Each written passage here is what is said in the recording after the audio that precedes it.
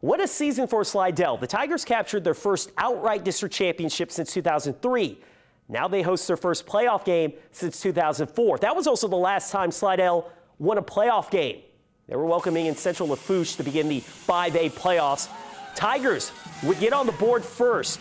Harlan Dixon, who's been playing well all year for the Tigers, 31 yard scamper for the game's first touchdown, 7 zip Slidell. Larry Favre's group looking to end the 14 year postseason victory drought tonight. And it was a cold one tonight up there. Uh, the defense playing well in the first half. Trojans quarterback Jacob Baker under duress. Matthew Retief takes Baker down for the sack. Later, a third down for Central Lafourche. There's going to be a big hit in the secondary, forcing the Trojans to kick a field goal. They would miss that field goal. Tigers would pitch a shutout in the first half. Slidell pulls away in the end, winning 35 21.